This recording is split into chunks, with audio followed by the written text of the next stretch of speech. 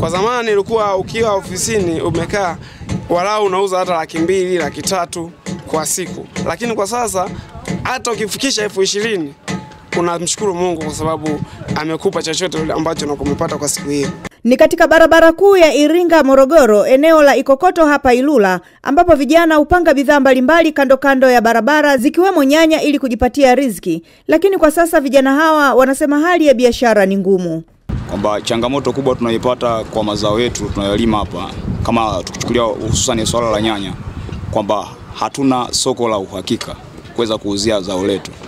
Tunaishi maisha ya kubahatisha, kwamba tunachuma tuna, tunazalisha zao letu tunaleta tunaleta kama kama stendi hapa, tunabahatisha kutafuta wateja.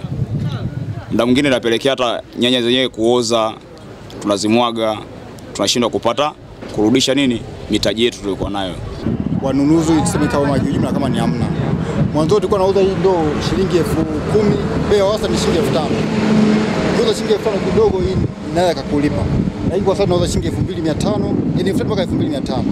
Ukitoa kifungashio unabaki kama na shilingi elfu mbili.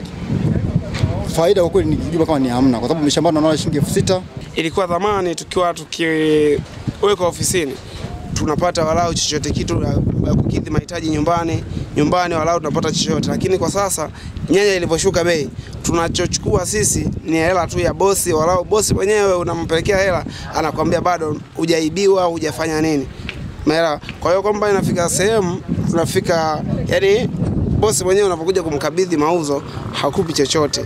Kwa maana hiyo kushuka kwa bei ya nyanya imetuathiri kwa kiasi kikubwa.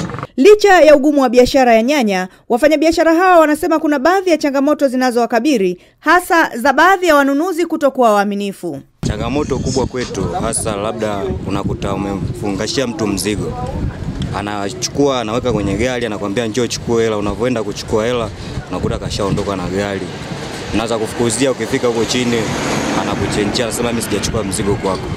Kwa hiyo ni changamoto kubwa sana kwetu. kwa sababu anaona umepanga tu hapa barabarani, nahisi huna sehemu kubwa ya kwenda ya kwenda kuuzia soko lako. Kwa hiyo ana, ana, anachukulia kile kama ni advantage ya yeye kuchukua kile, kile kitu. Kwa nini? Kwa bei rahisi. Richard Fweni, mwenyekiti wa kikundi cha wauza nyanya hapa Ikokoto, anakiri kuwepo kwa hali ngumu ya kibiashara. kama unavyoona hivi zimeiva hizo, hata wa kununua wenyewe hamna. Gari zenyewe zinasimama kwa nada, kwa sababu nyanya zimekuwa nyingi mpaka huku. Kwa hiyo basi na tunahangaika tu. Sasa ukiuza shilingi elfu ishirini tabu sana, hata elfu kumi yenyewe kwa tabu, kwa sababu unaweza kuuza ndoo mbili tatu, au siuze kabisa.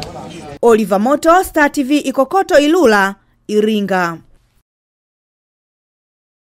Bofya kitufe cha subscribe kisha gusa alama ya kengele kupata taarifa za Star TV muda wote wakati wowote.